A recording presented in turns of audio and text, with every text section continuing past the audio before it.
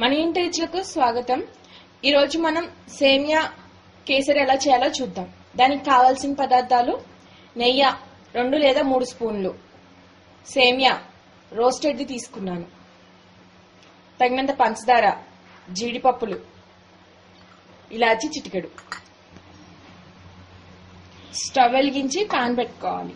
Pan కొద్దిగా వేడెక్కిన తర్వాత ఒక టీ స్పూన్ నెయ్యి వేసి వేయి కరగనివ్వాలి.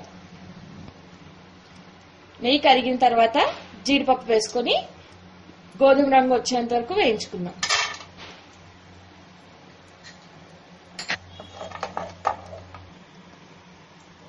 జీడిపప్పు గోధుమ రంగులోకి వచ్చేసింది. తీసి పక్కన పెట్టుకుందాం.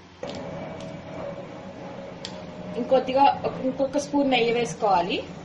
అది కరిగిన తర్వాత సేమియా వేసుకుని వేయించుకోవాలి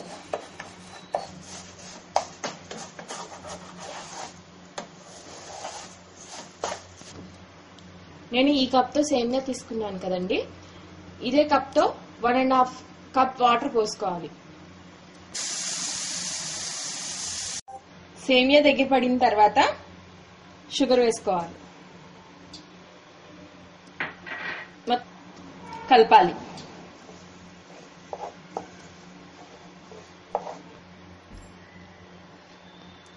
పంచదార తర్వాత ఇలాచి పొడి కూడా వేసుకోవాలి.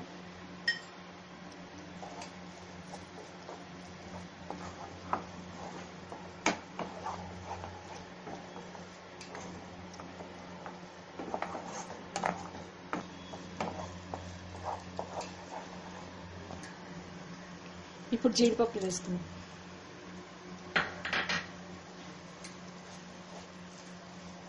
రెడీ అయి స్టవ్ ఆఫ్ చేసి సర్వింగ్ బౌల్లోకి తీసుకుందాం. ఎంతో టేస్టీగా ఉండే సేమియా కేసరి రెడీ.